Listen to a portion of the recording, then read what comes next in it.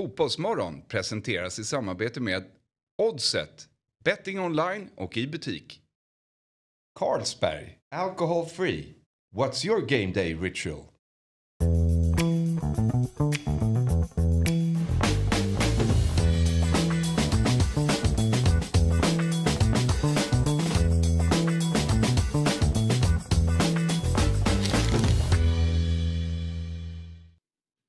God morgon på er! Varmt välkomna ska ni vara till Fotbollsmorgon fredag. Jag heter Jesper Hoffman och jag sitter här tillsammans med Robin Berglund. Som bara en och en halv timme innan avspark då, i den oerhört viktiga kvartsfinalsrysaren mellan Sverige och Japan känner vadå? Jag är lite mos i huvudet. Jag tog förlängningen här i morse vid Ah. fyra bläcket.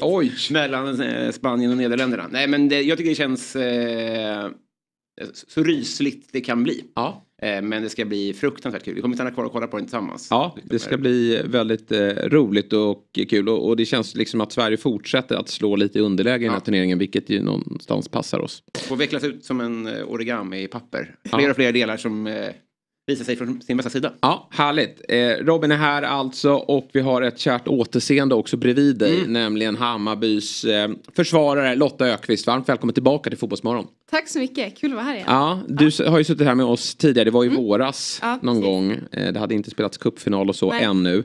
Men eh, för våra nytillkomna lyssnare och tittare då, Mm. eh, vem är Lotta Ökvist snabbt? Eh, oj, Lotta Öqvist kommer ifrån Piteå ursprungligen, spelar nu i Hammarby, som Mm. du sa, försvarare. Eh, ja, men spelar fotboll hela mitt liv och eh, älskar fotboll. Ja, härligt. Och du har dessutom tillhört Ja. Manchester United. Ja, precis. Det är ju Eh, jag glömde liksom... den. Ja. Ja, det, du glömde Ja, den där detaljen. Eh, spelar i en mäktig Ja. klubb nu också, Ja. men, men det eh, kanske ja, men är världens mäktigaste klubb. Ja, Ja. det är oerhört häftigt. Robin, hur skulle du beskriva dig själv kort? Ivrig, Ja, kanske. rolig.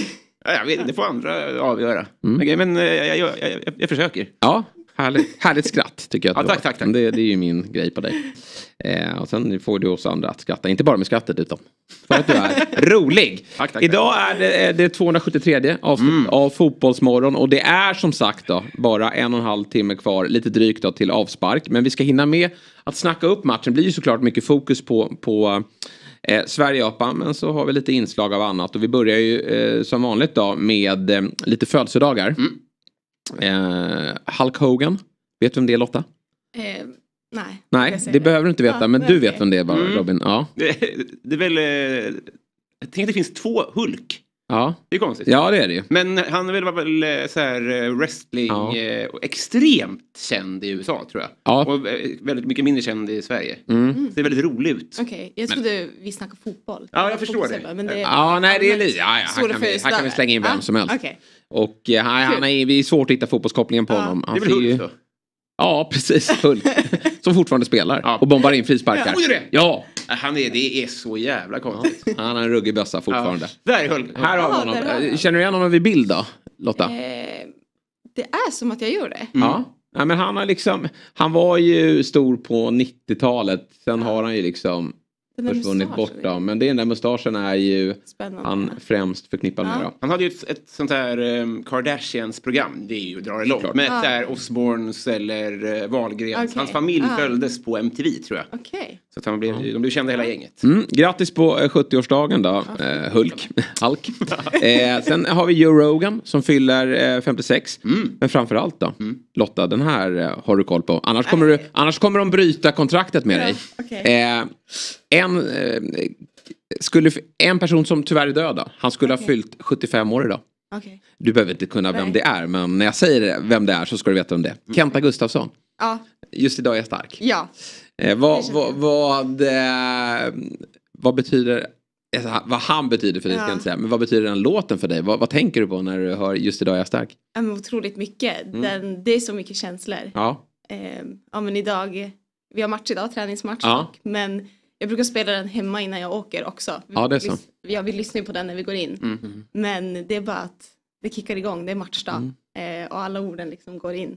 Mm. Eh, ja men det är något speciellt. Samma när jag spelar i andra klubbar och kommit tillbaka och mött Bayern borta då.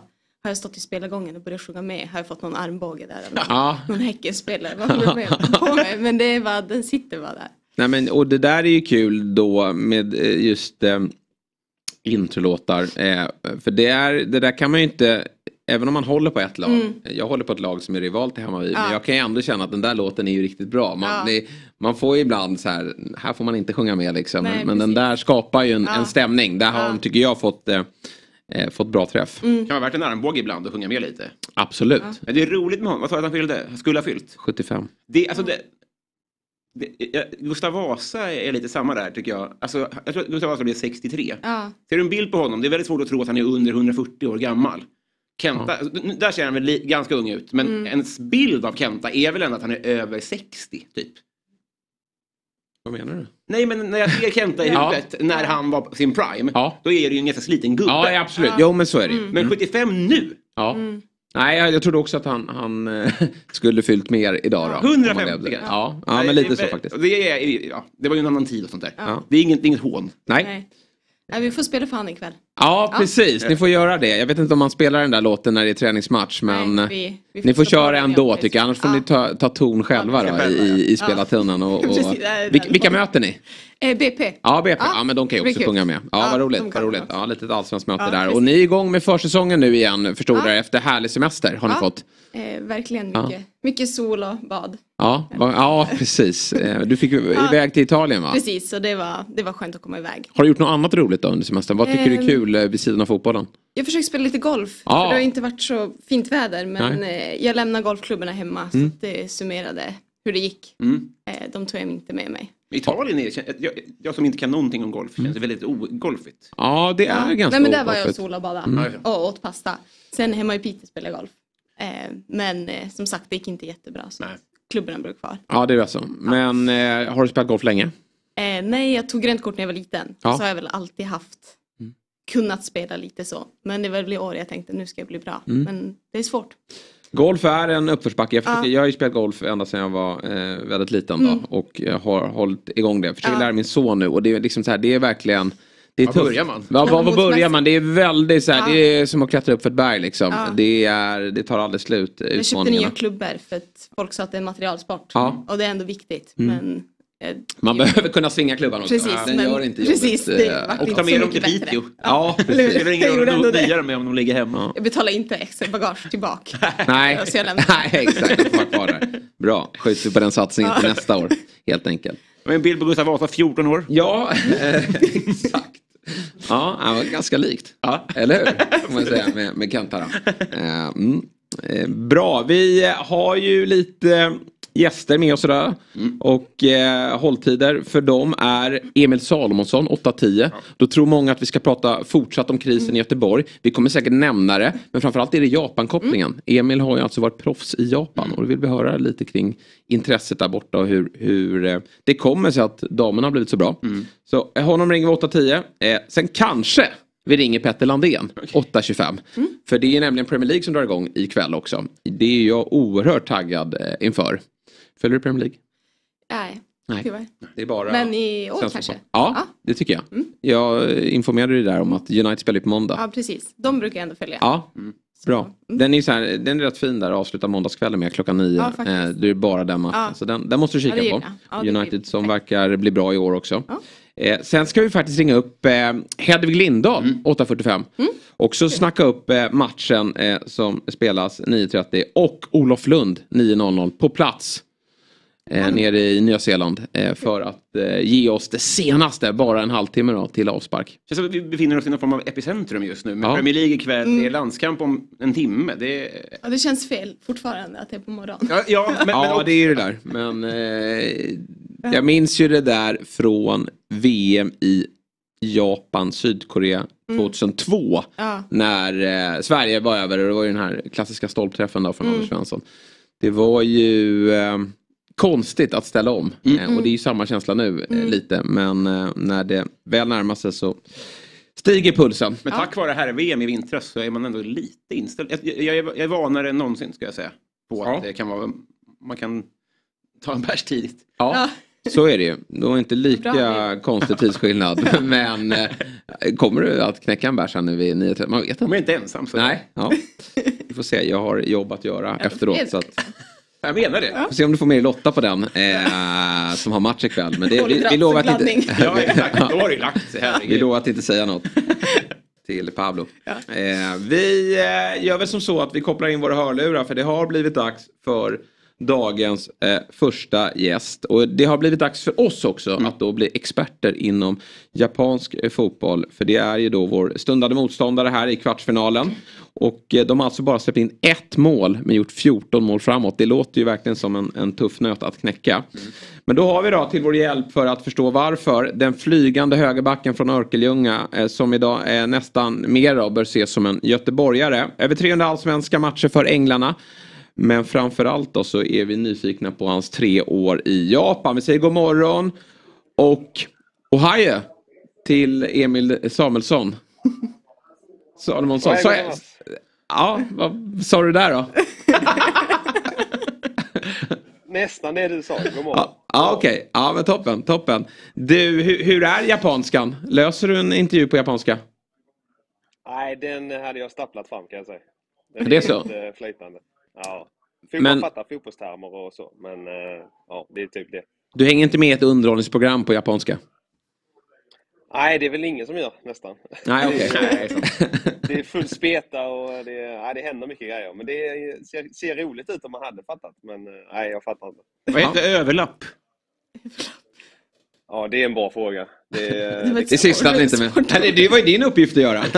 Överlappa på kanten. Säga, det, på planen är det det jag sysslar med, men annars är det pra, prata om det kanske jag inte kan. Men, eh, nej, nej det, det skulle jag kunnat faktiskt. Ja.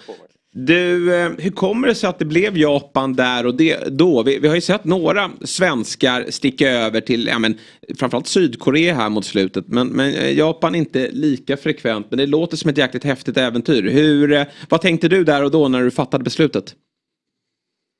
Nej, men det var väl framförallt som du sa att eh, det var ett väldigt häftigt äventyr. Eh, lite annorlunda och ja, att göra något nytt efter att ha varit i Sverige så pass länge och i Blåvitt så länge. Så att, eh, det var väl framförallt det. Tre år blev det, så jag antar att du trivdes ganska bra. Nej, men det gjorde jag. Trivdes väldigt bra. Mm. S- Sverige och Japan är ja, lika fast olika om man säger så. Och man kommer lätt in i det och jag trivdes bra. Och fotbollen passar mig och, och så. Så att, eh, nej, det var mycket som passade. Vi hade ju faktiskt eh, Jan Andersson här i eh, slut, ja, början på sommaren gästade han oss och då nämnde ju han att han har en dröm att just avsluta sin tränarkarriär kanske i Japan. Och, och han har haft diskussioner tillsammans med dig också. Hur, eh, hur frekventa har de diskussionerna varit? Nej, men vi har ju pratat om det, eller jag framförallt har ju sagt det gärna, för jag vet hur, hur, hur japanerna är som eh, människor och lag, hur laglojala de är och jag tror att det passat han bra och även att få testa på något nytt, eh, något helt nytt. Ett äventyr och så, så att eh, jag tror det hade passat Janne väldigt bra. Eh, Och ja, men få något annat efter alla år i Sverige och så. så att, ja, jag försöker sälja in det lite och han är inte helt, vad ska man säga, han är inte främmande för det. Eh, Så Nej. vi får se vad som händer.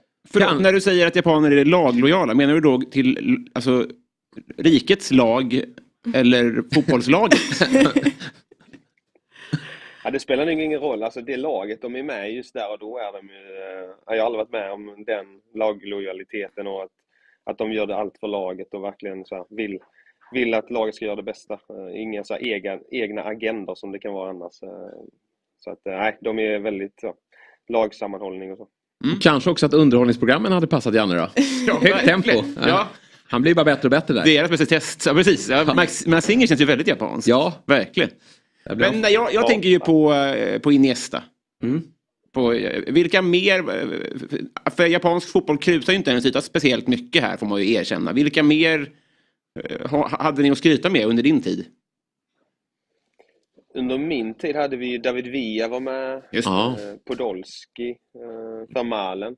just det. Så att det, Mm. var ju några, det var ju några kända. Eh, framför, men framför de försöker gå ett lite annat spår nu och inte plocka in de där kända utan eh, jobba mer på sina, sina egna spelare men även på eh, inte så här trötta europeer om man kan säga så. Nej. Ja, men det, och det är nog klokt liksom långsiktigt. Men, men hur... Vad säger du fotbollen då? Påminner den, du säger att de är laglojala, påminner den mycket om, om eh, den svenska fotbollen också i, i hur den utspelar sig och hur är nivån om du skulle jämföra med allsvenskan? Nej, men nivån är väl ganska jämförbar. Sen är den ju, förutom att laglojaliteten kanske är lite liknande, så är det annars ganska stora skillnader. Eh, den är mer, mycket mer teknisk och mycket mer eh, så här, skickliga spelare och mer drillade spelare. Och jag tycker, på så sätt skiljer de sig ganska mycket åt. Mycket mer fysisk i Sverige och allsvenskan jämfört med Japan. Hur står sig fotbollen mot övriga sporter i landet då? Är den nummer ett eller finns det något som är ännu större, väcker större intresse hos japanerna? Ja, den är ganska tydligt tvåa till basebollen. Basebollen Ja, okej. är sjukt stor i Japan. Mm. Ja, det är, det är lite... Ja, det, det trodde inte jag heller när jag flyttade dit, utan eh, man blev lite förvånad. Men det är väl, har väl att göra med knytningen till USA efter andra världskriget. Så, så har det blivit väldigt, väldigt mycket större. Så att basebollen är superstor. Du, i vintras så kunde vi se att du följde eh, herrarnas VM då i en japansk tröja. Hur ser det ut i det här mästerskapet då? Vi- Vilka håller du på här om en, om en lite drygt en timme? Nej, men såklart jag håller på Sverige. Sen så är man alltid glad när... eh, Det, det är kul när fler får se upp ögonen för japansk fotboll. Eh, Och, och damerna har jag följt också. Jag tycker de är, ja, de är lika roliga att kolla på. Så att det, nej, det är roligt. Det är skitkul. Och vi har ju några dam, dam eh, i damallsvenskan också som är skickliga. Eh, Så Mm. att eh, det är kul. Japan har ju ett VM-guld eh, 2011 då, i, i Tyskland och, och nu känns det nästan som att de har seglat upp som en, en favorit igen. Då. Hoppas ju givetvis att det, det tar slut då, under förmiddagen här. Men, eh, men de är ju betydligt mer framgångsrika än, än herrarna som, som också visserligen gör det bra men, men är ju aldrig hela vägen fram och nosar. Vad är det som gör eh, damerna så bra, eh, tror du? Jag bara fråga. Jag har också funderat på det. Alltså, för att det de är väldigt långt fram i damfotbollen och jag tycker de spelar en väldigt fin fotboll. Och, och herrarna har inte riktigt nått hela, hela vägen, men det känns som att det skulle kunna hända, ja, kanske inte hela, hela vägen i, i snar framtid, men så småningom att de tar ytterligare steg och blir en ännu större maktor i, i, i VM. Men nej, jag, jag följer med spänd förväntan matchen i, i, i här imorgon, här nu på morgonkvisten. Hoppas hinna se den innan träningen drar igång. Eh, Så man hinner se lite i alla fall. Ja, härligt. Hur stort är intresset då skulle du säga just för det, det som sker där? Tror du att det, det är många japaner som sitter och kollar på, på, på den här matchen? Ja, men det tror jag. Det är ganska fördelaktig tid för, eh, för, på japanerna. Eh, om man lägger på sju, sju timmar på matchen. Så att eh, många har väl hunnit sluta jobba och så. Så att det, det tror jag. De älskar sina, sina landslag, är väldigt patriotiska och, och stöttar. Så att eh, nej, de följer den, följer den tajt, eh, VM i alla fall. Och det är många journalister som man har haft lite kontakt med som också har, som man har pratat lite med som är väldigt stolta över, över hur de spelar och hur de uppträder. eh, Mm. Framförallt och hur de är på plan och vilken härlig fotboll och, och positiv fotboll de spelar. Tror du vi Ja, har någon... Ja. Jag är oerhört trött på eh, det japanska, att de alltid ska städa på läktarna sen för att skapa god PR. Är du också det? Ser du igenom den skiten? Alltså, hade det bara varit för att det ska skapa god PR hade kanske man stört, stört sig på det. Men det, det är så det ser ut. Eh, De städar ju alltid oavsett vad det är. Om det är i parker eller om det är hemma eller om det är på arenor. Det, är lite, det ligger i deras kultur. Så att, eh, Det är ditt egen det- skräp. det får- Släng det inte från början så behöver du inte städa. Nej, precis. Stoppa ner pappret i fickan. ja, nej, faktiskt. Jag tycker det är så fascinerande att höra. För att Maika spelar i vårt lag, Just en det. i Japan. Och hon är otroligt, jag har aldrig spelat med en spelare som är så lojal. Nej. Och tänkte jag, är det bara hon? Men när du säger det att, att de är så, det borde vara dröm för en coach att jobba med, Men det- ett sånt lag. Det där är ju irriterande att höra för det här med laglojalitet det har ju alltid varit Sveriges styrka. Eller så här, när vi lyckas, som vi visserligen gör nu då, eh, nere i eh, Down Under. Alltså vi Ja. gör det ju väldigt bra men då är det ju lojaliteten. Men det är irriterande att någon slå, verkar slå oss på fingrarna där och ännu bättre. Ja.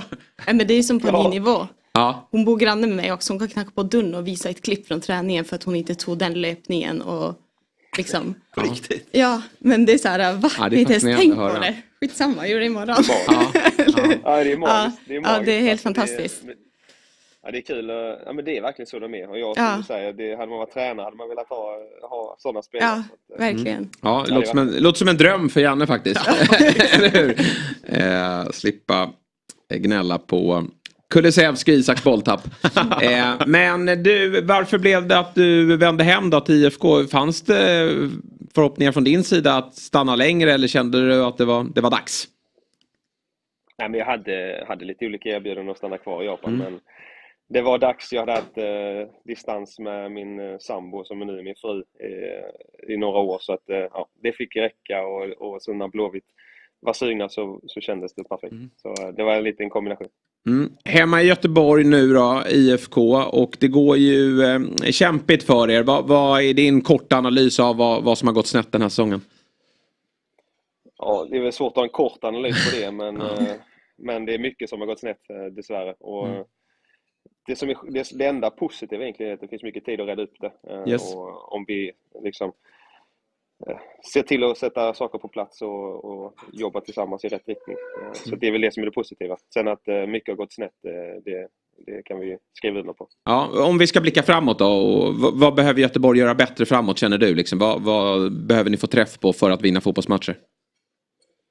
Alltså defensivt, ja, nu släppte vi in tre bollar senast, men annars defensivt har vi suttit ganska bra ihop under hela året tycker jag och varit ganska kompakta. Men det är framförallt offensiven vi behöver eh, höja. Vi behöver bli bättre, skickligare i sista tredjedelen och högre kvalitet på eh, avslut och inspel och, och ja, tillsammans göra, göra det bättre helt enkelt. Mm. Du har ju varit skadad men är frisk nu. Hur känns kroppen?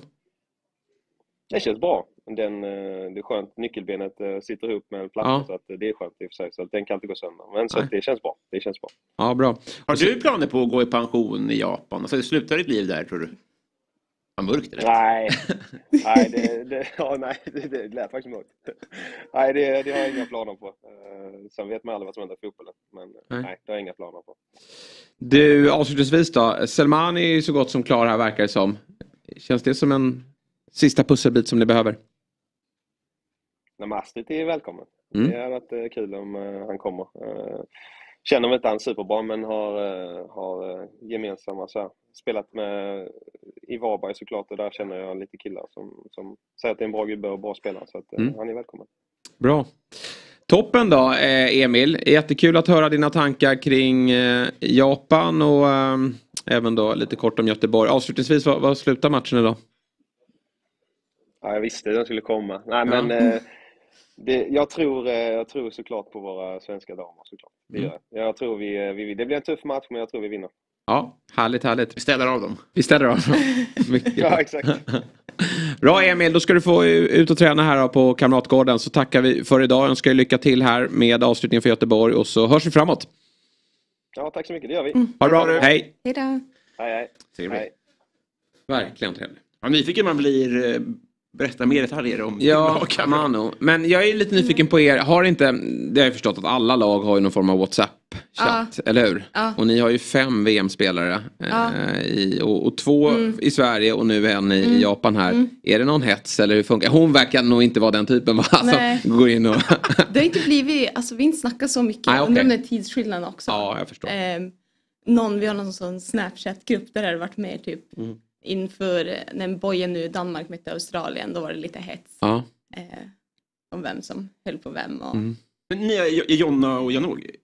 Ja, Ja, just det. Ja. precis. Idag. Eh, så nej, det har inte varit jättemycket Nej. Hur mycket insyn har du då? i... Eh, Ja, men typ, får du, visste du laguppställ, eller så att, att de här skulle starta innan? eh, nej.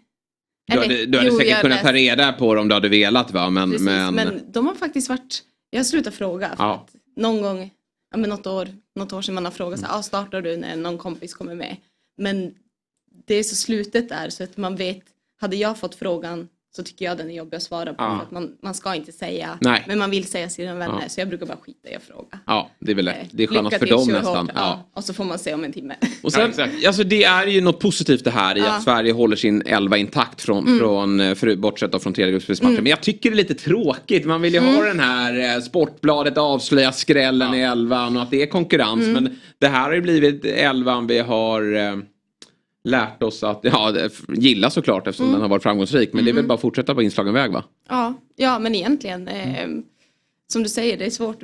När man sitter och kollar tycker man det är kul att se någon annan Ja, kanske. men exakt. Eller, eh, eh, så, men att, att alla förstår sin roll. Många har hoppat in och gjort det bra. Mm. Eh, att, man, att man tar den och det blev ju en lång match mot USA. Det kan lika gärna bli det om, om någon timme. Precis. Vem, precis. vem hade du hoppats på om du hade fått svara någon annan då? Utan att trampa någon på tårna.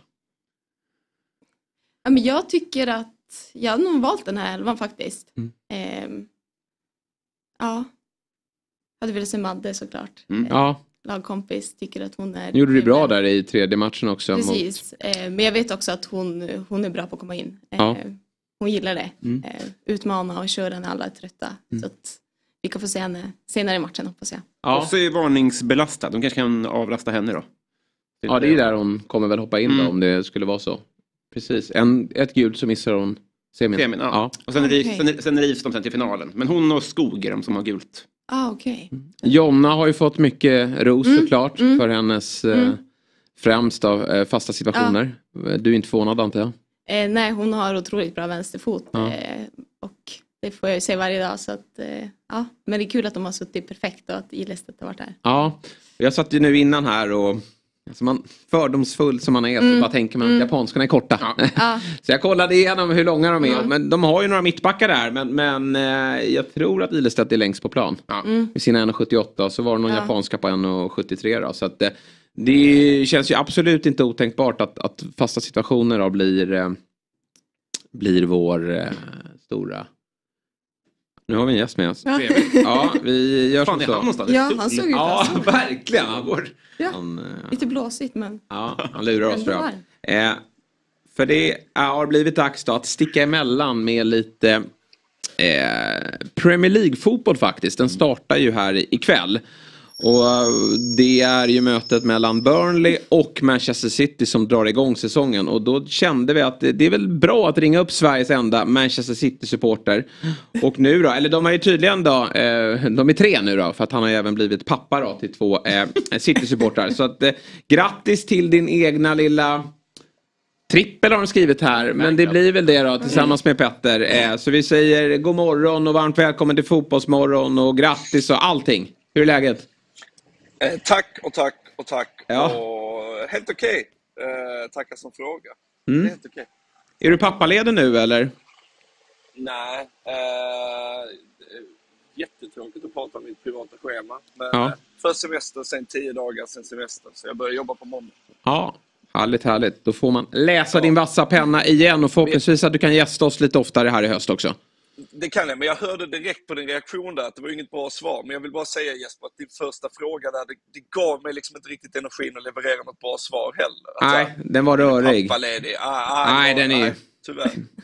Eh, inte är du taggad? själva, Ja. Ja! Ja, härligt. Vi, men innan vi ska prata, du ska få ge din syn på Sverige-Japan så måste vi prata då, eh, premiär i Premier League. Och eh, du är ju City-supporter och du kommer från en ganska okej säsong. Hur liksom kliver man in till den här säsongen? Vad, vad... Det finns ju bara att förlora eller? Eh, ja, så är det ju, men samtidigt så gäller det ju... Det, det är svårt, det blir en referens till liksom tv-spelsvärlden, men i, i, i ganska många spel, när du är klar, eh, klarat ett spel, så kan du starta ett New Game Plus. Eh, och då kan du liksom öka svårighetsgraden. Och det är det jag känner nu, att det är så här, eh, okej, Gündogan försvann, eh, Mares försvann, nu har Guardiol kommit in, Eh, vilket såklart förstärker defensiven. Men det, det, det finns ju liksom luckor offensivt som behöver egentligen på, på pappret täppas igen när Gündo och Mares är borta. Eh, men där tycker jag, där, där startar vi ett New Game Plus med City. Vi, vi värvar inte in Lucas Paquetá för, förlåt det var en jävligt stor humla. Eh, Lucas Paquetá eller, nej, obehagligt flygfan överhuvudtaget.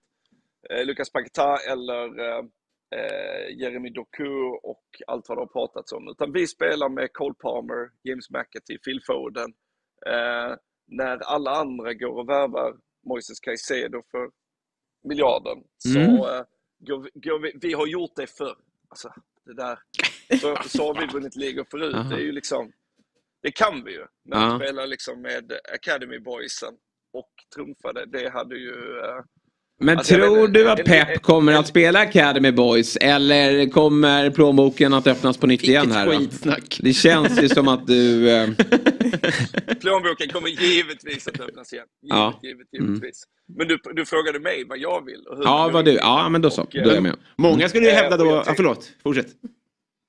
Nej men, alltså jag, jag, jag, blev så... Jag, jag fick ännu starkare den känslan i Community Chile när Cole Palmer eh, eh, byttes in och vek in och liksom curlade in 1-0 mot Arsenal i bortre. Att så här, fan vad det känns ännu mer när det är han. Mm. Eh, liksom. Jag har ju aldrig varit en Mares-supporter. Eh, jag, jag, jag kunde ju se hans storhet och vad han gjorde bra. Men jag tyckte aldrig om spelaren. Eh, och därför känner jag så här, vad det, fan vad nice det skulle vara med en ligatitel där Foden äntligen får vara liksom, det centrala navet som man bygger kring. Och Cole Palmer, James McAtee och Rico Lewis och de här är liksom centrala spelare. Att vinna, att vinna ligan med dem skulle liksom betyda mycket mer än ja, många andra. Mm.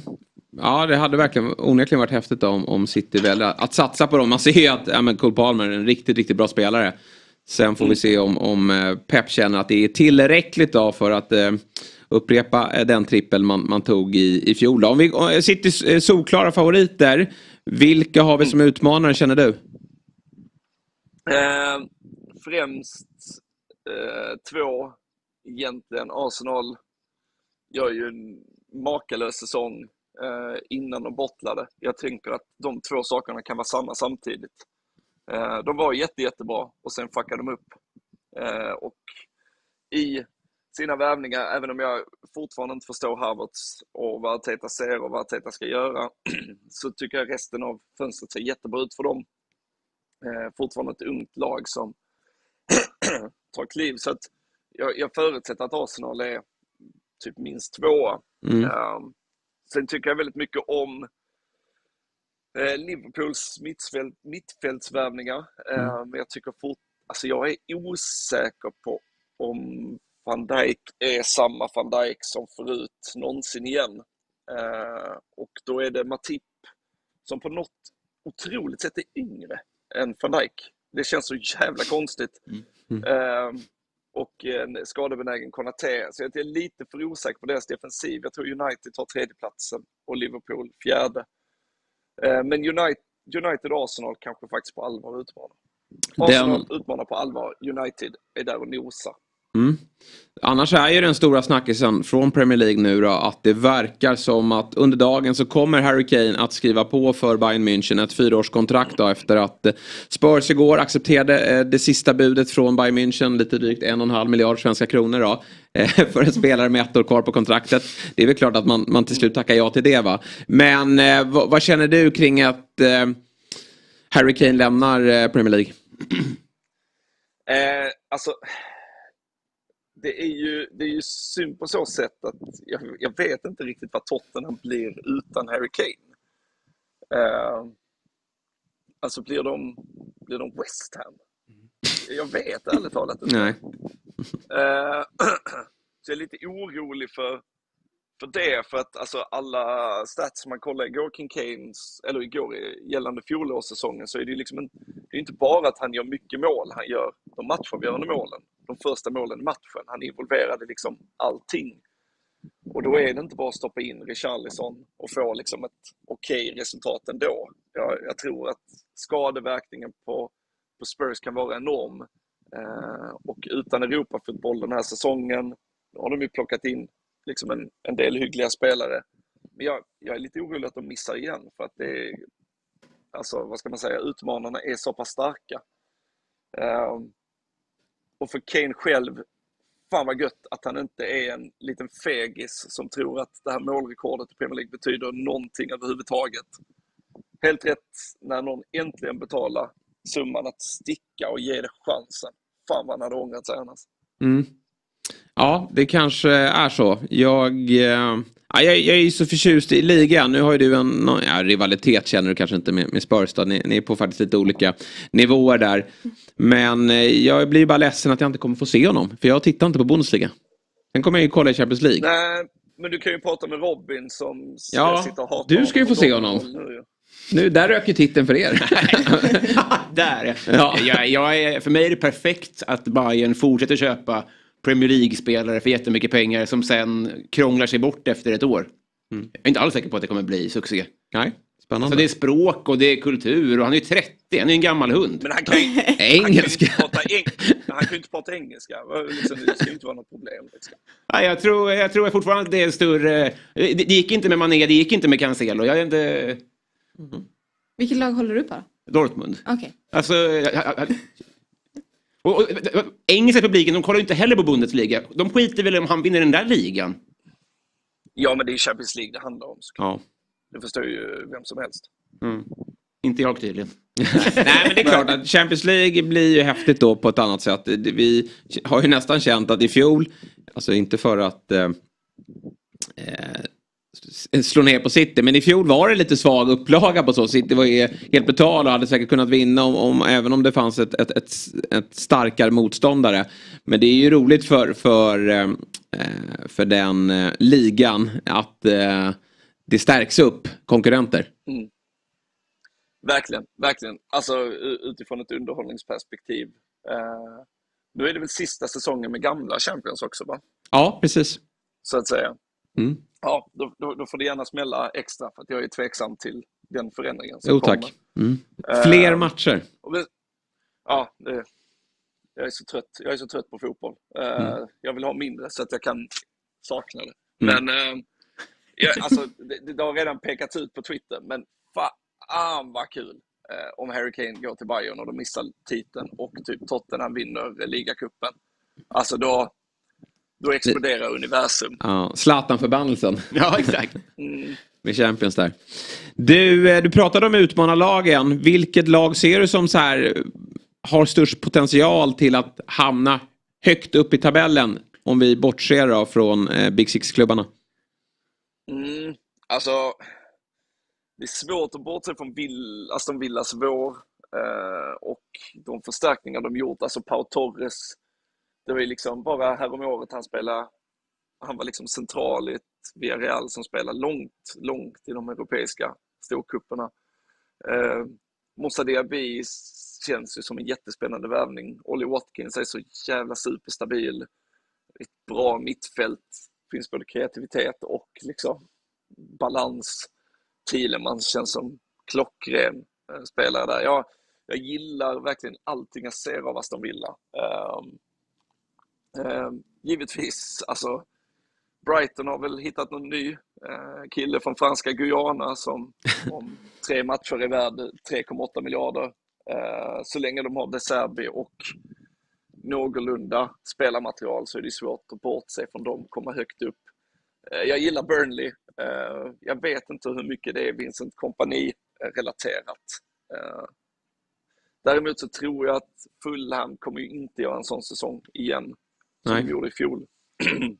um, Vilka floppar då? Jag vet inte. Uh, West, West Ham, West Ham åker upp. Mm. Oj! Okay.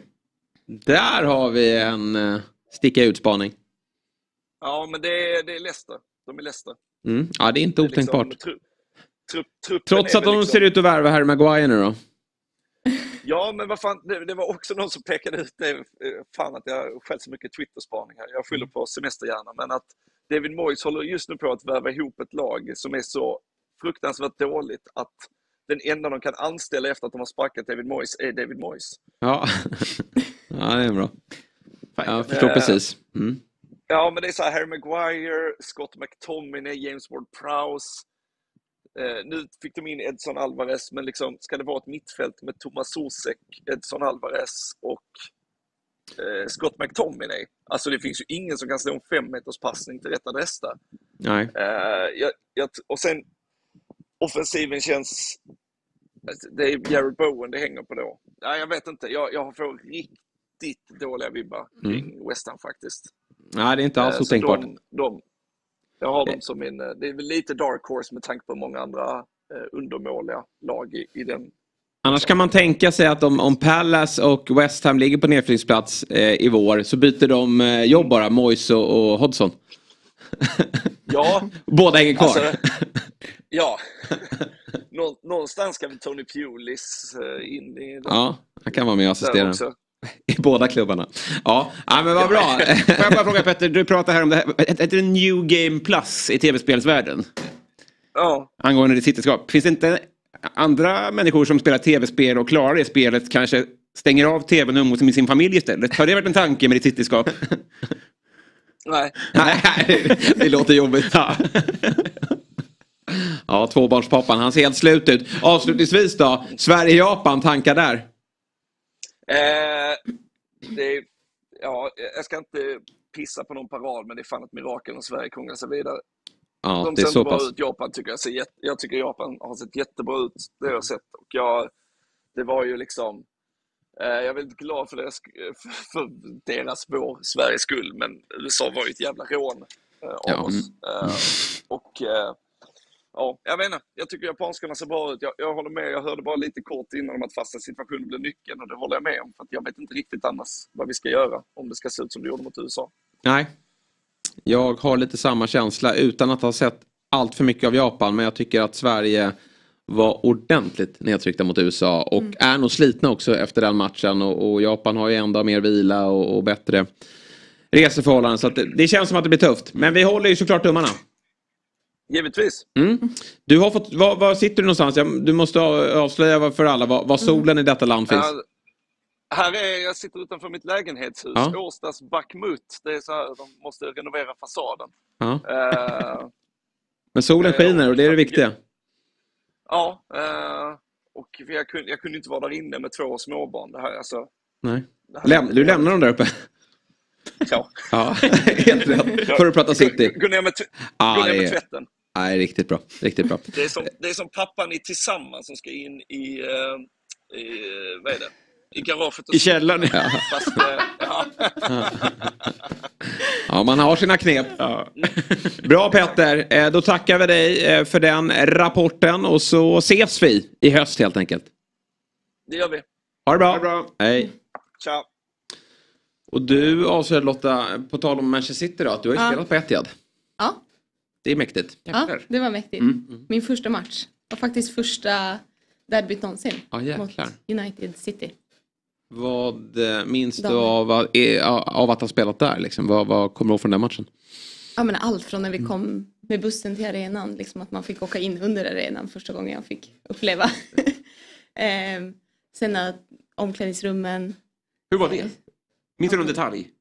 ja att ja, men det var bilder, alltså båsen och så var det en bild på mig på min plats. Ehm, allt var liksom detaljerat, förmodligen som herrarna kanske har varje träning, jag vet inte. Ja. Men det var häftigt och sen också man är ju van att kunna snacka med tränaren. Nu i Bayern har vi mycket fans så det kan vara svårt. Speciellt när vi spelar på Tele2 och höra vad man säger. Men där fanns det ju inte en chans att höra ens vad min backkollega sa.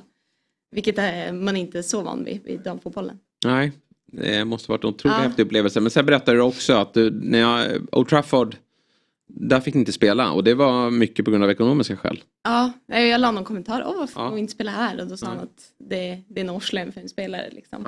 Eh, Men nu spelar de där och det är kul och de har fått, fått mycket publik. Så Mm. jag tror alla, om jag fattade rätt, alla lag i ligan har en match per år man spelar på sin herranläggning. Just det. spelar där. Så, Mm. så det är kul. Och då är väl det målsättningen att liksom bara öka det för varje Precis, år som, jag tror det blir fler går. och fler matcher. Ja. Eh, För det blir ju ökat intresse, det ser man ju. Mm. Så det är kul.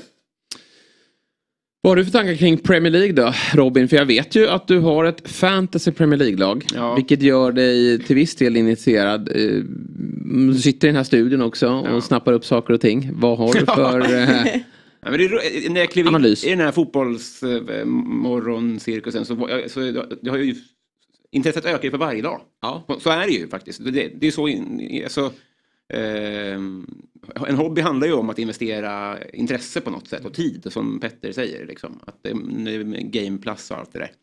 Och Så jag har nog aldrig varit så här taggad tror jag. Sett också till att det finns, jag har ju inget lag som du, Nej. men det finns ju svenska intressen. Mm. Det finns eh, alltså med Hjalmar som kommer upp i Burnley. Det hade varit kul om City chokar. Det finns, det har aldrig, alltså, vad jag har förstått har det aldrig funnits så här många lag som knackar på att få vara med i toppen. Alltså, det har alltid pratats så himla mycket om att det- det är så himla långt mellan toppen och botten. Ja, det är bara några få lag. Så kommer Aston Villa, så kommer eh, Brighton och så kommer de och hotar. Och det är ingen match som är... Nej, och, och faktum är att ja, då kanske någon i den andra, i den andra ringhörnan säger ja men det är ju redan klart vem som kommer vinna för City är ju så överlägsna. Men då ska vi ju veta att City är ju, det är unikt det vi ser med City, det Pep har skapat där. Och, och um, hur, hur jäkla bra de är. De vinner ju faktiskt allt. Så det är inte så konstigt att de är solklara favoriter. Men för den sakens skull så är det ju faktiskt, det är inte helt solklart. Det är inte som känslan är när man kliver in i en tysk ligasäsong Nej. att, att det här ska Bayern München bara vinna. Utan det, det finns faktiskt eh, utmanarlag där. Och jag menar, det var väl många år som Redbergslid alltid vann. Men det var väl inte för att det var Saudi-pengar. Ja, nej. Det är jättemånga Ja, ligor ja, där det finns verkligen. ett jättebra lag. Och det, alltså, jag tycker fortfarande att det är eh, mycket piss med den moderna fotbollen. Men, men allt blir ju inte sämre vad det gäller konkurrensen. Nej, så är det faktiskt. Eh, vi fortsätter att eh, gästas av intressanta personer Mm. och det här är inget undantag. Med eh, 181 landskamper på sitt CV och en stor mästerskapshjälte så hade det varit märkligt att inte ta ett snack då med Sveriges forna landslagsmålvakt Hed Hedvig Lindahl en dag som denna. Så vi säger god morgon och varmt välkommen till Fotbollsmorgon. God morgon, hoppas att ni hör mig bra. Ja, vi hör dig eh, alldeles utmärkt. Du, eh, första mästerskapet nu då på, på, på ett par år där du inte är med på planen. Hur eh, frustrerande är det att inte kunna vara med och påverka? Hur, hur är livet i tv-soffan? Jag tycker det är ganska nice faktiskt. Eh, Man ska ju veta att det är en enorm press och det krävs en enorm arbetsinsats att vara iväg på de här mästerskapen och det slipper jag ju samtidigt som det hade varit väldigt roligt att eh, vara med om, om det de är med om för det verkar vara otroligt stort eh, VM som pågår där borta. När liksom så här, mentalt släppte du drömmen eller vad man nu säger att, att du inte skulle vara med i det här mästerskapet? När, när kände du liksom att nej, jag, det, det är nog bra att jag inte är med eller nej, jag, jag tror inte jag kommer bli uttagen? Nej, direkt efter EM kände jag att nu blir det liksom inte bättre. Nu är jag på decline. Liksom. Eh, det kände jag nog egentligen efter OS. Eh, men hade någonstans, eftersom vi inte vann guldet i OS, så hoppades jag någonstans att kan jag få vara med en gång till? Kan vi få, till, liksom få träff här nu i EM? Men det var mycket grejer som satte stopp för den drömmen ändå och då kände jag nej nu går det liksom inte mer. Jag kan inte göra bättre än vad jag har gjort. Eh, jag flaggade för att jag behövde få vila någon av eh, matcherna i, framåt, liksom de sista matcherna men det, det blev aldrig så i EMet och då, nej, då var det läge liksom att ta ett steg tillbaks. Så att, eh, jag har egentligen bara sagt att jag finns tillgänglig ifall att du vill att jag fyller någon typ av funktion. Alltså om du tycker att det är bra i ditt hela bygge, då är jag här för jag spelar. Men det är den enda inställningen jag har haft. Ja. Men var din plan då eh, under OS att om ni hade tagit guldet där i straffläggningen, hade du lagt av då i landslaget? Det tror jag. Det hade varit perfekt. Eh, och kalla, kalla det, call it a day, vad säger man? Eh, att man liksom eh, Får det perfekta slutet? Ja. Ja, och nu blev det ju inte det. Det blev en mardröm och så vill man inte sluta heller. Nej, jag förstår det. Och eh, så här, hur, vad kände du då här mot USA när det blev ett straffdrama igen? Det, det har ju lätt att hänga, eh, etsa sig fast den där typen av eh, förluster. Att det liksom kan sätta sig på spelarnas eh, mentala, eh, sitt psyke. Och då har vi ju också, alltså de sa ju det efteråt också, att de, de har ju verkligen känt av den här förbannelsen sen sedast. Vad, vad kände du från tv-soffan när det blev ett straffdrama igen? Eh, Jag har faktiskt varit helt lugn i hela mästerskapet. Men Mm. när det blev straffar, då fick jag lite, då blev jag lite påverkad faktiskt. Eh, Ja. ehm, Fick lite nervositet. eh, Men ja, det fick väl alla som tittar. Nej, jag vet inte. Alltså, jag tycker det kanske har blivit en liten mediegrej där, att ett spöke och så vidare. Vi har ju haft många bra straffläggningar i historiskt som har gått våran väg. Så att okej, det sket sig i den straffläggningen så hade vi ju någon, okej inte i skarpt läge, men i Algarve Cup vann vi en straffläggning. Så att det, den har mer blivit lite rubriker och clickbait känns det som. Eh, Nu gjorde väl du mål också, var det inte så? I Algarve? Eller minns jag fel? Ja, Ja. exakt. Det är därför jag sån lyfte det här. Ja, det är helt rätt. Men det, man brukar ju prata om att det är liksom den som slår straffen som, som har allt att förlora och målvakten någonstans har allt att vinna. För man förväntar sig att det ska bli mål. Vad, vad, eh, som målvakt, hur känner man inför en, en straff? Liksom? Är det den känslan eller eh, blir, infinner det sig någon form av nervositet? Nu kan inte jag svara för alla målvakter men jag eh, har definitivt känt, gud vilken härlig chans. Nu har jag bara allt att vinna här. Som ni säger så är det ju all press på utspelarna i det här läget. Ehm, Jag vet inte om man någon gång har kritiserat en målvakt för den borde den ha tagit och så vidare. Det är så himla svårt att kunna täppa igen alla ytor i det där målet från, från det avståndet. Så att, eh, där har man bara allt att vinna. Det är bara att brösta upp sig och försöka sprida energin och ta liksom, den mentala matchen där när man står en mot en. Mm. Det har ju funnits en oro eh, ända sedan du slutade och eh, sedan du då deklarerade att du finns till, till hands men, men kanske inte kände 100% före att, att vem ska liksom ta vid efter dig.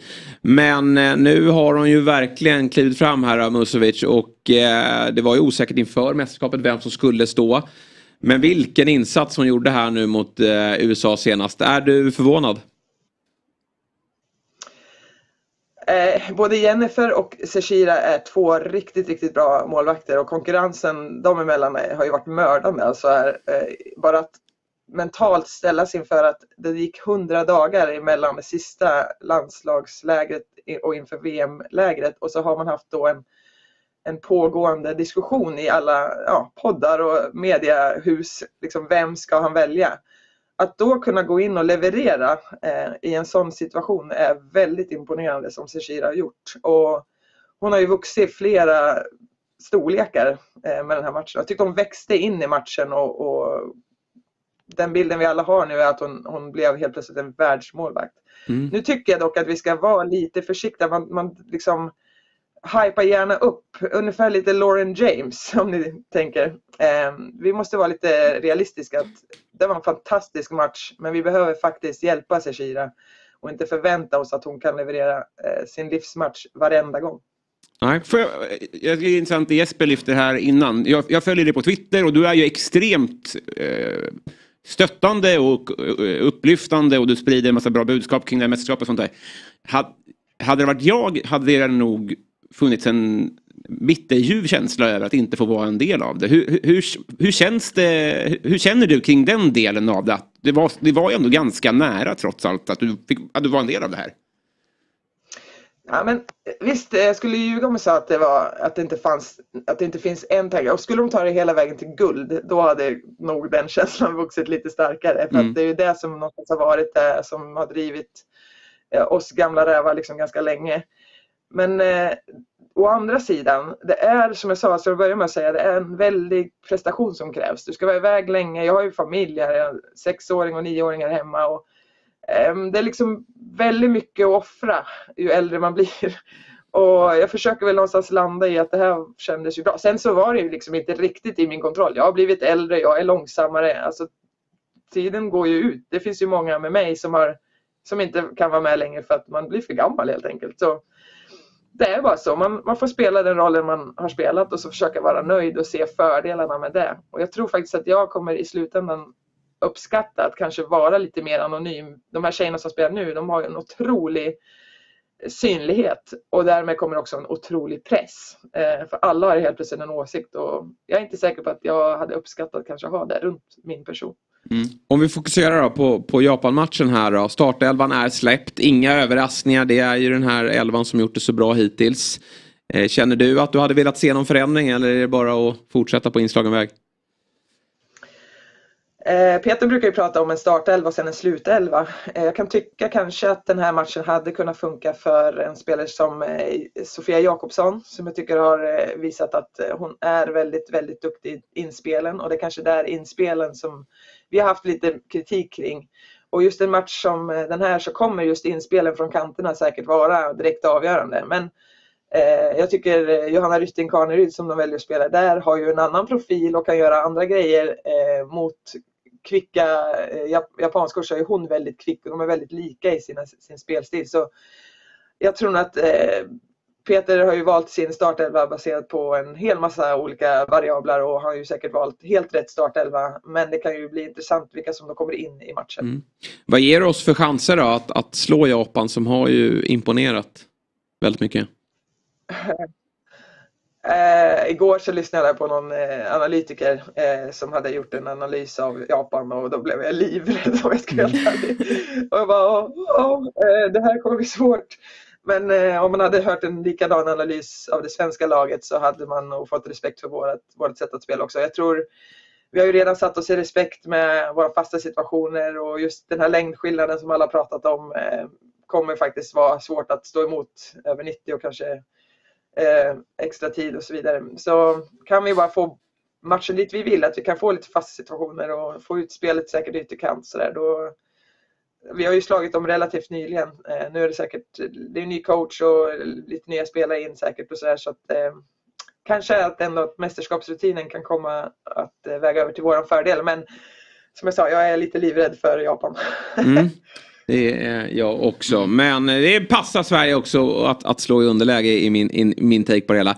Du, om vi kollar lite på mästerskapet överlag då. Du gästade ju SVTs morgonstudio då. Där du eh, pratade om att spelarna får för mycket kritik och att det saknas ett system då för att skydda spelarna. Kan du utveckla det lite mer? Vad är det för system, system du skulle vilja se som kan skydda spelarna som är i, i mästerskapet och damfotbollsspelare överlag? Ja, men man kan ju tänka sig så här. Eh, Megan Rapinoe har fått mängder av kritik efter sin missade straff och det var bara folk som väntade på att få skjuta ner henne eftersom hon har varit ute och haft åsikter och försökt att verkligen driva vissa sociala förändringar och sådär. Eh, så där har vi ett exempel på en, en sjuk ström av kritik som har riktats mot henne. Men hon har ju säkerligen ett system runt sig som kan liksom hjälpa henne i de lägena. Hon har, hon har ju varit i skott, skottgluggen förut. Men eh, det finns ju andra situationer. Vi kan ta Lauren James som ett exempel här som är 21 år gammal. Visserligen också har folk liksom gjort sig lite grann av ett namn. Hon är inte startspelare i Chelsea så, och, och, man har ändå inte, även om den engelska ligan, WSL nu drar mycket tittare och publik och så, så är det ju inte alls på samma nivå som när man spelar ett VM. Så det, och Chelsea är i och för sig också en bra organisation som säkert kan hjälpa henne när, när sådana här saker händer. Men man är inte van vid att minsta lilla grej man gör, även utanför plan, eh, som inte har att göra med spelet, kommer bli att alla har en åsikt om. Eh, och det är, vi, det är ju så det har varit i herrfotbollen jämt. Jag har fått sån förståelse för herrspelare liksom, eh, vad gäller mitt sista år. Här. Eh, och, men där har man ju eh, utbildningar kring hur hanterar vi det här och så har man system i sina klubbar som tar hand om eh, ja, allt som kan komma med det här. Så där har vi inte riktigt samma system helt enkelt, alltså hjälpfunktioner. Jag tänker på tjejen i Argentina som blev så kritiserad för att hon hade en tatuering på Ronaldo på hennes smalben istället för att hon skulle haft Messi då. Eh, och hon var ju tvungen att gå ut på internet och skriva, nu måste jag sluta för jag mår riktigt dåligt av det här. Och, Eh, vi i damfotbollen behöver helt enkelt eh, se till att utbilda och lära våra tjejer att nu kommer det här, nu när, när det blir den här eh, synligheten på er. Mm. Då, då, förstår jag det bättre. Jag fick lite känslan av att det, det är synd att det kommer kritiska, och, och, för mig är det här, folk som skriver då till någon, någon ung tjej som, som har gjort den här tatueringen, det, det är ju för mig idioter och de finns ju någonstans i fotbollen och finns i övriga delar av samhället mm. också. Eh, men det, jag fick lite känslan av att nu, nu är det många som börjar följa damfotboll och, och då får vi kritik. Men nu tycker jag du beskriver det på, på ett bra sätt, att det är mycket upp till damfotbollen som, som mm. eh, organisation, helhet, att, att eh, hjälpa ehm, eh, tjejerna som, som blir ju mer utsatta nu när de, när de syns mer. Ja, men precis. Mm. man ska ju veta att eh, det finns ju undersökningar att eh, eh, kravbilden som en tjej sätter på sig, mycket kopplat till kroppshets och sådana saker. Det kan vara att en, en ung fotbollsspelare, en ung tjej, är fyra gånger mer trolig att hamna i depression. Mm. De gjorde en undersökning som kom från, från eh, Danmark. Så jag känner att vi lever i ett, ett, ett, stort eh, experiment här. Vad händer? Nu får vi den här uppmärksamheten vi har velat ha under alla år. Nu har folk en, äntligen en åsikt om hur vi spelar och våra prestationer och allting. Men är organisationerna rustade för att hjälpa tjejerna igenom det här? Och jag tror att det kommer finnas vissa situationer där, där folk kommer eh, riktigt hamna i knipa. Till, till exempel mm. den här eh, tjejen från Argentina och, och fler med henne. Så jag tror bara att vi behöver vara om det här. Det mm. vet vi om, och mental ohälsa ja. är en stor grej. Som Dele Ali till exempel, hans intervju. Vi behöver bara tänka på det lite och lyfta det. Mm, mm. Bra. Lotta, eh, håller du med? Jag håller helt med. Vi ja. satt faktiskt igår på lunchen och pratade om det här. Typ, ja men Lauren James fall.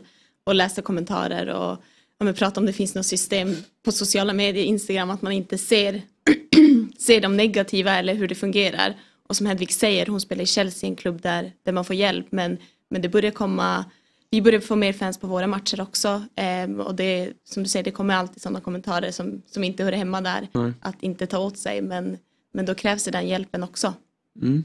Eh, så håller helt med där. Ja, eh, viktiga frågor. I eh, USA här senast så fick vi ta del av Goline Technology. Inte VAR som mm. det blev en het debatt där. Eh, och för VAR är en, är en känslig fråga här i i i eh, detta land. Eh, du har ju lyft det också. Vad, vad, vad står du i VAR-frågan?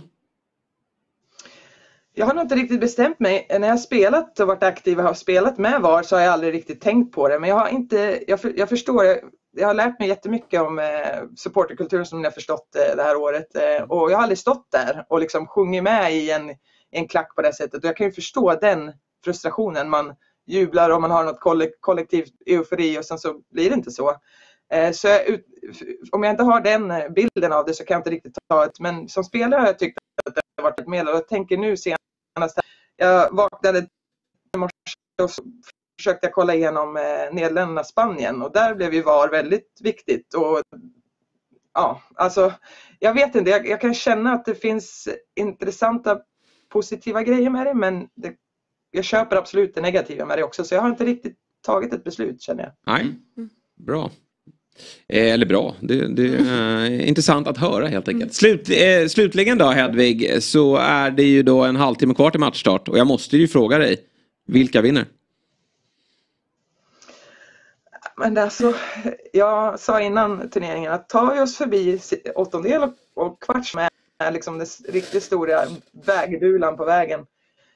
Ja, då vinner vi guld och jag tror att det här är vår chans nu att vinna guld. Peter har jobbat så länge med den här gruppen och det kommer bli väldigt tufft för oss att göra det igen. Så jag hoppas och röstar med hjärtat att vi vinner. Eh, logiken i mig säger att Japan vinner men, men säger att vi vinner. Ja. Så att jag, vi säger Sverige ändå då, men mm. jag tror egentligen Japan. Ja, jag ha, vi, vi, vi, lyssnar till ditt hjärta helt enkelt och, och tar det med oss. Och, och tackar dig för den här morgonen. Som sagt, vi, skulle gärna vilja prata om andra viktiga frågor inom, inom svensk fotboll. Eh, så vi säger väl som så att vi, vi bjuder in dig då eh, längre fram och du får gärna gästa oss här under hösten. Oj. La hon på. ja, vad bra. Tack så mycket. Ha det bra. Ha det så bra. Hej, hej. Eh, vi gör som så att vi tar en kort reklampaus. Yes. Och när vi är tillbaka då ska vi prata med Olof Lund.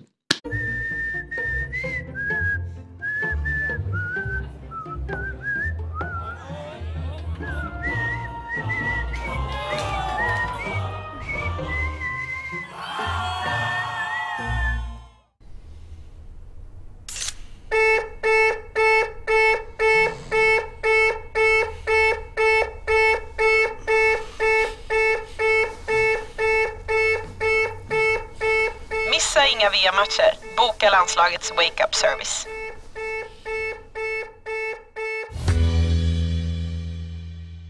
Är, där är vi tillbaka! Lite lurigt där med Kalle som fintar bort mig upp på läktaren när reklamavbrottet var över. Hörni, vi eh, bara fortsätter att ringa upp ja. intressanta gäster och han här är en gäst som har varit återkommande mm. Eh, och vi blir alltid lika glada när vi får tag på honom i hans späckade schema. Mm. För det finns ju ingen journalist som jobbar hårdare. Direkt från Auckland då, nere i Nya Zeeland. God morgon på dig Olof Lund. Ja, god morgon eller ja. god kväll här. Det är ja. Just det. halv åtta här på kvällen.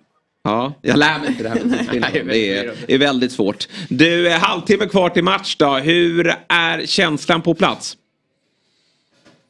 Det är lite kyligt. Det är typisk eh, skånsk vinter skulle jag säga. Sådär en eh, 8-10 plusgrader och lite rått. Eh, jag kollar ut men jag kan inte visa några bilder för att då bryter man mot olika regler och sånt. Och eh, Sverige och Japan värmer just nu eh, och eh, för fullt och börjar fylla på på den här läktaren Eden Park som ju haft rätt bra publiksitt trots att det var tydligt att Nya Zeeland haft lite mindre intresse än det har varit i Australien.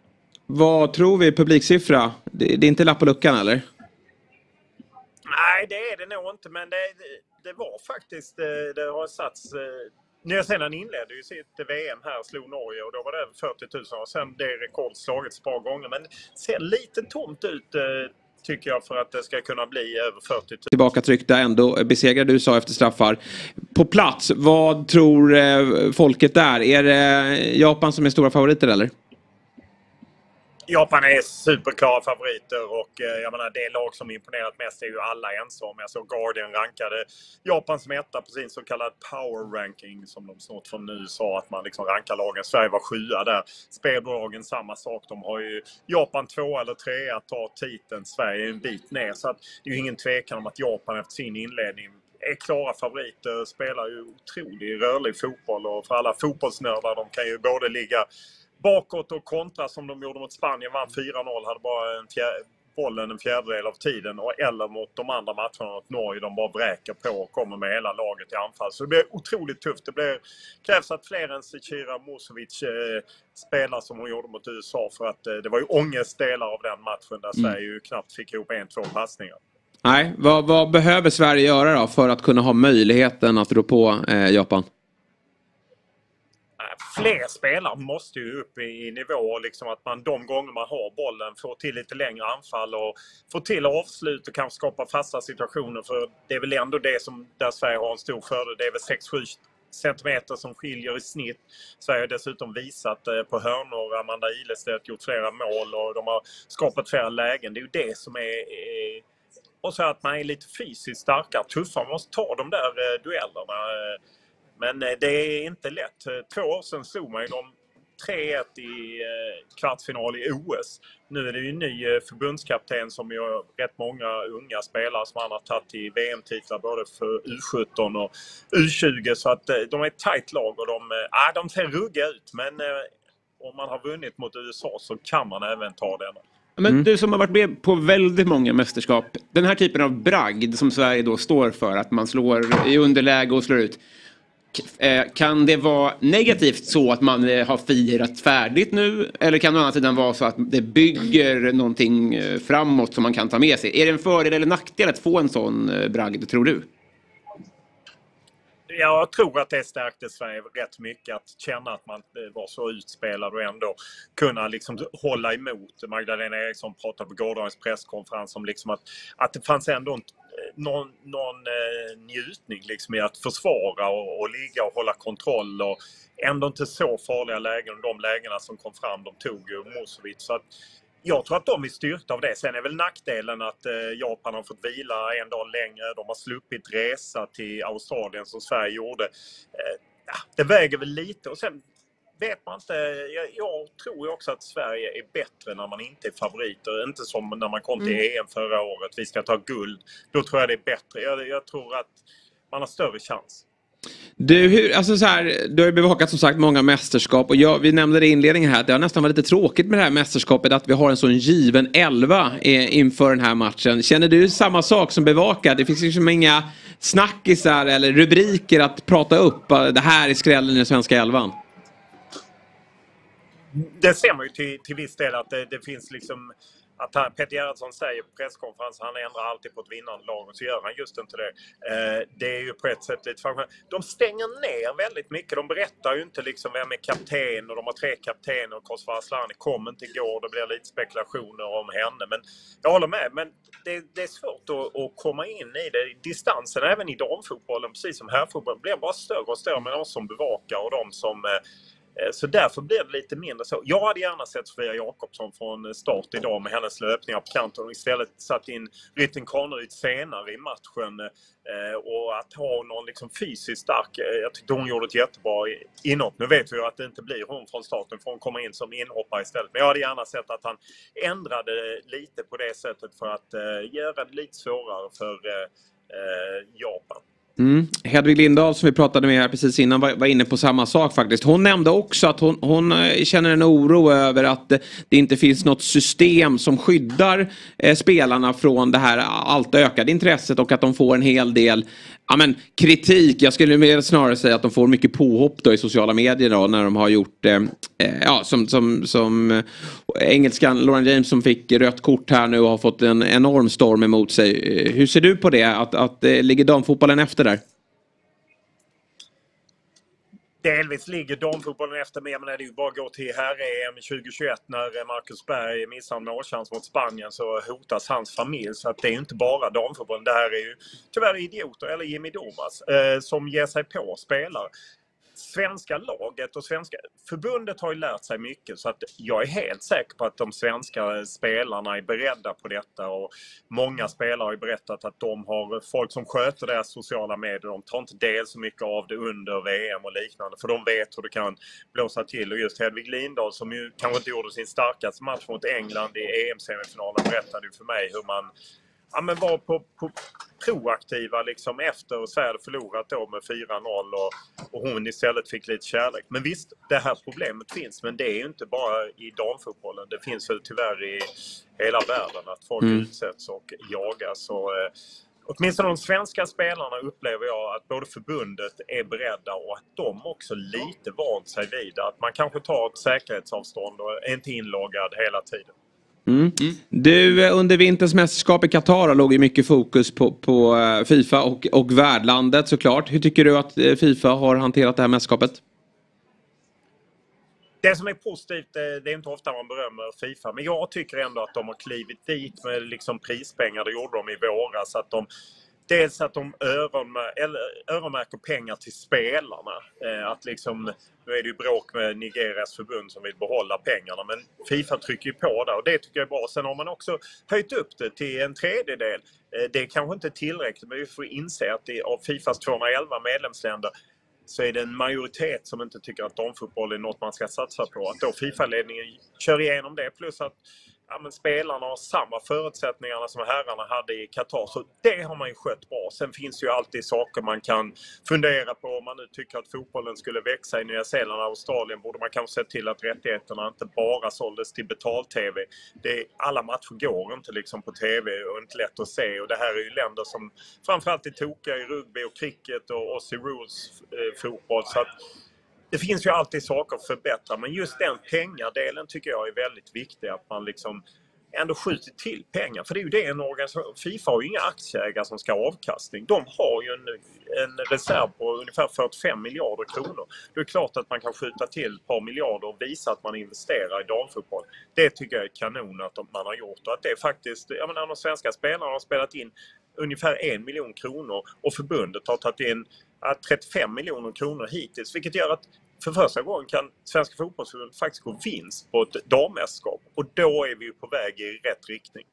Ja, det låter väldigt bra. Eh, du var på plats i Qatar och då fick väl jag känslan av att det, det var väl inte så mycket mästerskapskänsla som, som det brukar kunna vara då, när, man, när man lämnar arenorna. Hur tycker du att det har varit i Nya Zeeland och Australien då? Har det gått att känna av att det är ett mästerskap på plats?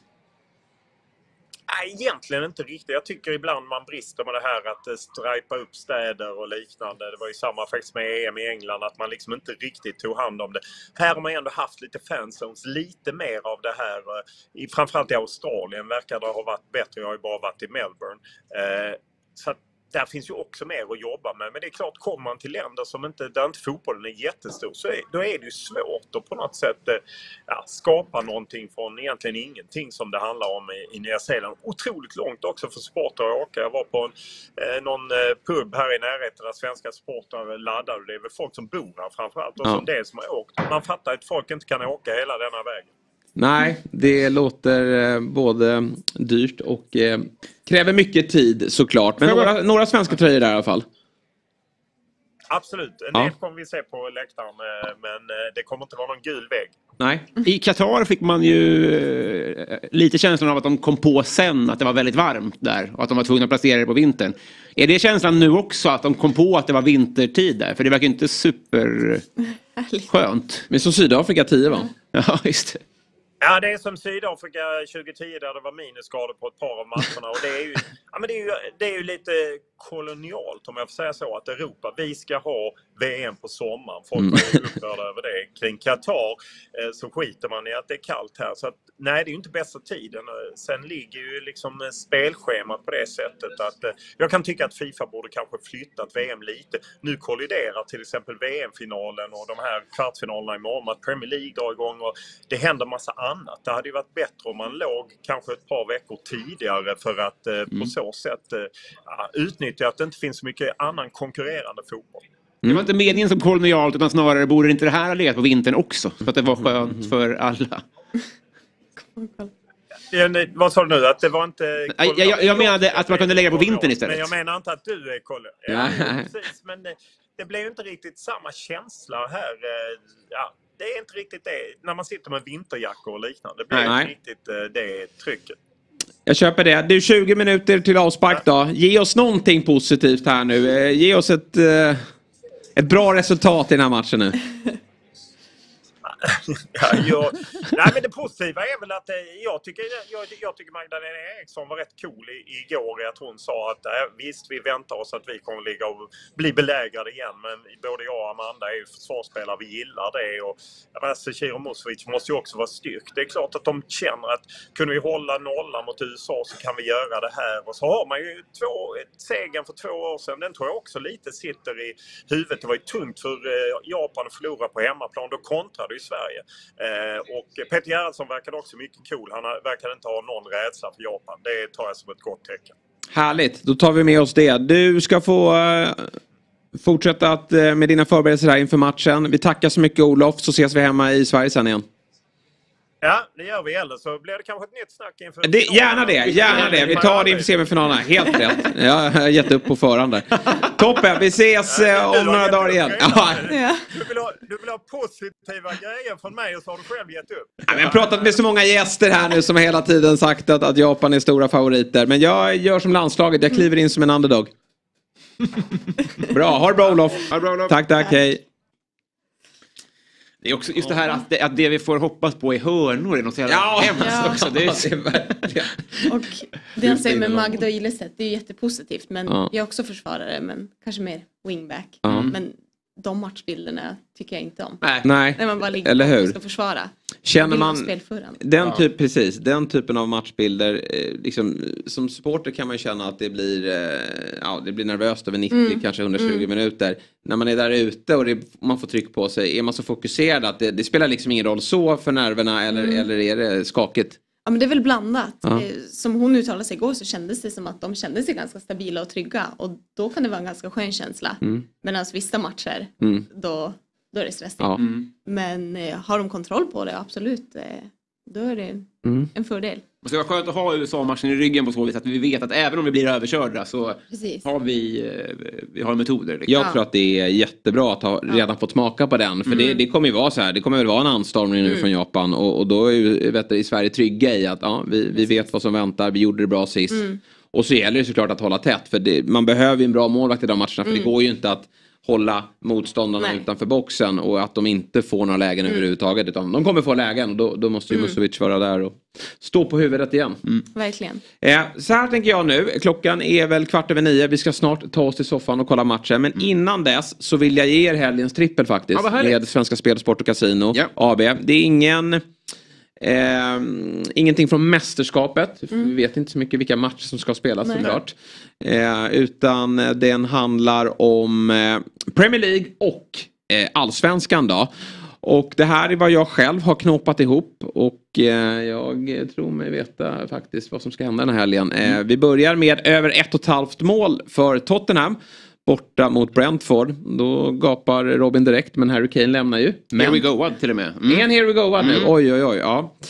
Deppigt. Men eh, de har en bra ersättare har jag tjatat om i alla mina eh, poddar som jag har i eh, Premier League i eh, Richarlison. Japp. Han kliver in och tar den här nummer 9-rollen. Och han kommer göra mål. Och runt sig har han Son, Madison och vår käre svensk Dejan Kulusevski.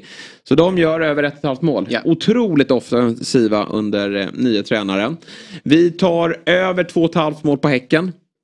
Mm. Som ju då, har vi inte ens nämnt. Nej. Men de vann ju igår. Eh, mot- Vi nämnde det som eh, inga, inga vokaler va? Eller det var innan Ja. sändning nämnde vi det, förlåt. Precis, man tror att vi eh, var live då, men det var vi inte. Eh, jag ska dra hans namn här. Eh, han heter Srdan Ristic. Vi konstaterar att han har, han har fler mål än vokaler nu. Ja, Det är imponerande. jag gillar den här värvningen. Kostar ju typ 20 miljoner. Kalle får kolla upp det där så jag inte blir det här är Sverige i alla lynchad. fall. Det här är i Sverige. Mot Varberg. Ja. Som jag tror checkade ut lite efter förlusten här senast mot Mjällby. De är ju sist och de hade lite god känsla eh, eh, inför den matchen de hade slagit Halmstad. Men nu åker de till Häcken som behöver fokusera lite på ligan här nu och jag tror att de kan göra det med tanke på det här fina resultatet. Så de gör över två och ett halvt mål. Nye eh, S- Srdan Ristic. Ja. Han gör två nya kast. Ja, han gör det själv. Och sen avslutningsvis då, Brighton, detta poplag, Mm. Möter nykomlingen Luton på hemmaplan. Och de vinner med minst två bollar. Mm. Eh, Brighton är ju fantastiska. Och, Ja, ja, det var det så. Bra. Mycket bra. Mm, toppen. Det innebär ju att om Häcken nu bara kan greja returen så är de klara för minst Conference League. Så behöver vi inte tjata om det här med att svensk, svenska lag är dåliga i Europa. Nej. Då är vi i gruppspel. Och jag noterar till tabellen också i damallsvenskan att ni drömmer ju också om Europaspel nästa år.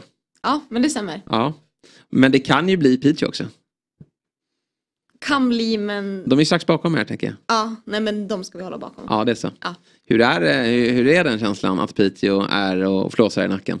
Ja men det är lite blandat. Ja. Eh, såklart Piteå alltid finns, finns hjärtat på något sätt men de behöver inte vara så, så högt upp. Nej.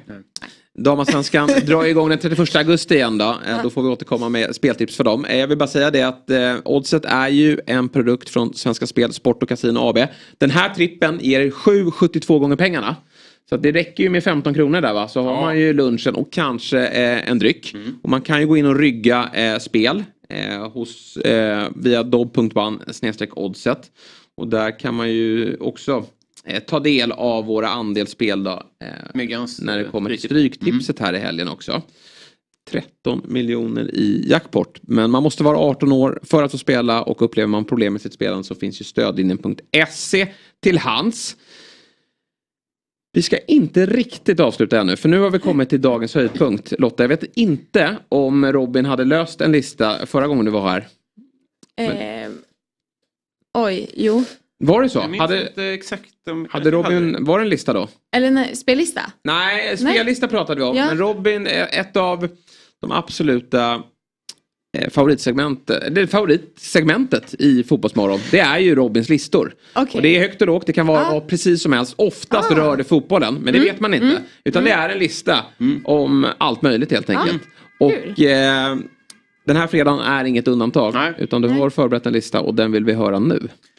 Välkomna, välkomna ska ni vara då. Dagens lista. Tack. Idag kommer vi att eh, verka i upprättelsens namn. Mm. Vi ska ge upprättelse till de som förtjänar det. Gamla tv-programmet Förlåt mig. Varför inte använda den rubriken? Vi ska, vi ska ge dem rätt till slut. Mm. Och det här har vi berört tidigare. Bara för någon minut sedan. Ja. Häcken. Mm. Oj vad vi skrattade. Ja, verkligen. De fick stryk mot enbenta fiskare som inte kunde få ihop ett elvamannalag. Nej. Nej, det var... Man slog, jag slog mig så hårt för knäna så jag fick korsbandet rök. Ja. Vilka dumskallar. Mm. Kan de inte vinna mot... Många av oss visste inte att Fär- Färöarna hade en flagga. Nej. Fick googla, de hade en flagga. Ja. Ja. vad kul för dem. Men de har inte ett fotbollslag. Det kan de inte ha. Jo, det hade de. Och de vann mot Häcken. Ja. Mm. Då börjar man skrapa lite på ytan där. Fan, Ferencvaros, ungerska mästarna. 3-0. Mm. Över dubbelmöte. På bortaplan. Precis. Mm. Ja, okej, men de, de är väl också sämst då? Mm. Ferencvaros. De måste ju också vara världens sämsta lag som får stryk mot de här enbenta fiskarna. Mm. De, ja, då, då, då vet jag det. Bra, då är Ferencvaros skit också. Sen möter de då norska mästarna. Mm. Det är inte, klart där, men de, de vinner mot dem också. Mm, börjar man skruva lite på sig. Mm. Sen ser man där, eftersom man ju följer U19 EM i handboll. Ja. Att, Patrik Fär, Ekwall gör det i alla fall. att Färöarna slår alltså Sverige Ja. där med 34-29. Då börjar man... Vad är det som pågår här egentligen? Vad är det här för liten sagoö? Så Vad är det de kokar ihop där borta? Mm. Men man följer ju inte bara U19-handbollen utan man följer ju såklart U21-VM då, som gjordes i, i juni också. Och de jävlarna vinner ju sin grupp där. De slår ut Kroatien Va? i handboll. Åh herregud. Alltså Det är mitt... sjukt. Ja. Ja. Så det är handboll som är egentligen deras paradgren då? Ja, det- de skiter väl i fotboll. Ja, ja, ja. Det här är någon sidoverksamhet. Ja, verkligen. Men mitt tips Mm. till Hovland och uh, Rygaard och Gustavsson och Sana och alla de här. Sätt er ner, Mm. illa kvickt vid datorn. Börja knappa. Kanske ta in en spökskrivare. Mm. För eh, ligger ni i nu så är det kvartsfinal i Champions League i vår. Mm. Och då slår Klaxvik ut Porto. Ja. Och då är ni snabba att publicera er bok En gång var jag sämre än Klaxvik. Ja. För det här kan bli ert stora break. Mm. Det här är det bästa som har hänt i er karriär. Ja. Grattis Häcken, ni, Ja. var, ni, ni tog till straffar. Och de har faktiskt redan fått börja uttala sig om det här. Att de har redan bör, börjat bli stöddiga. De fick ju mycket kritik förra veckan. För att, med all rätt känner jag ändå. Men kanske då att eh, lite förmildrande Ja. kommer ju Robin med information här kring att Färöarna är en stark idrottsnation. Men redan igår på presskonferensen så sa de ju det att ja, titta vad Molde gjorde. Det vi kanske inte var en så dålig insats. Nej. Nej. Ja, men vad fan på? Ja, nej det är, det är sensationellt. Det är ju dit FAB måste åka. Ja. Eh, för att ta reda på eh, vad är det som försiggår egentligen. Vad har de i rören? Ja, imponerande. Ja, det, är, det är ruskigt imponerande. Mm. Sen, nu ska vi knyta upp en liten säck här, men sist vi hade en lista här då var jag lite på ehm, de som rattar kontona för de svenska U-landslagen. Just det. Det var nämligen så att eh, Nordisk Flick hade avgjorts. Känner du till Okej. den här turneringen? Ja, spelat. Du har spelat? Vad är. Nordisk Flick? Oj, eh, vi kanske var... Ja, de nordiska länderna, en turnering. Fast Fast det fick vi höra att det inte var. Nej, Holland var med också. Jaha, okej. Men, Ja. men det var... det var länge sedan jag spelade, då var det nog... Okej, ja. Kanske Man utökade. utökade. Ja. Ja. Begreppet Norden. Ja. Precis. Färöarna är med också. Ja. Piska på oss. Och vinner. Går och vinner. Nej, men då var jag så jävla irriterad Ja. på, för då var det en enorm segerhög. Det var en TV-puckshög. Har vi den bilden så kan vi visa Lotta den. eh, För nu kommer Hedvig bli arg för nu ger vi dem lite kritik här. Men, Ja, just men, det. Nej, men här, eh, om vi får upp den. eh, Vi ska se här. Hur, Alltså det var på sociala medier. ja, men precis. precis. Jag, jag kan tycka att i, i, även i, det är klart att man ska vara glad när man vinner, men tar man De hade brons inte vunnit. De i hade en- Nordisk Nej. flick, Nej. då, jag tycker vi ska, ribban ska ligga högre. Ja. För att fira ordentligt. Där det- har vi den. Det, det är för mycket glädje i den här bilden tycker jag. Ja. Vad säger du Lotta? Eh, Men som sagt så vet jag inte. Enligt mig så ska vi vara bäst i Norden. Ja, precis. Det tycker vi det också. Eh, Ja, nu vet jag inte vilka lag som var med som ni sa men eh, Ja, Var Färöarna minns med så lägger jag mig igen. Ja. Men jag vill bara jag vill ge dem upprättelse. För såklart avgjordes ju även Nordisk pojk. Ja, ja. mm. Och där tog vi också brons. Jaha. Kan vi se den bilden? Så här ska det se ut. Ja! Inte ett leende. Nej. Eh, Men det här måste ju varit innan match va? För, det tror jag inte. Ja, nej men det är bra. Ja, men om det firades så är det... det borde egentligen vara tvärtom tycker jag. För att ungdomsfotboll så har generellt tjejerna gått bättre. Men det är EM-guld liksom. Precis, Ja. de borde visa mer besvikelse av att komma trea än killarna kanske ska vara nöjda med det. Jag Ja, en bronspeng är väl liksom aldrig, även om man då avslutar med att vinna en match så, så är det väl inget man, man ja, vi har ju för sig, det, det vi har firat mest i, i, vårt, eh, i vår idrottshistoria är ju ett brons VM Ja. 94, visserligen. Ja. Men lite större konkurrens då än Nordisk Flick. Jag menar det. Och här slår vi ändå Norge som är ett... eh, Ja, Ja. som vi har börjat respektera som en, eh, som en storebror. Ja, Så att det är jag, bara Färöarna som är bättre än oss. ja, jag älskar det här modesta och att de lyssnar på oss, att de tar Ja. till sig av feedback. Bra. Eh, Upprättelse för webbmastern på Svenska ungdomskontot. Hatten av och hatten av till Häcken. Och så slutligen då, det här är... Hedvig lyfte det här tidigare. Eh, vilken bragd det var mot USA, vad vi firade. Mm. Vi ska titta på en liten bild från firandet. Mm. Här är firandet då. Det är Janogy och det är alla insved från bänken och alla är glada. Ja. Eh, inte riktigt lika glad är Jennifer Falk. Nej. Eh, andra målvakten där. Nej.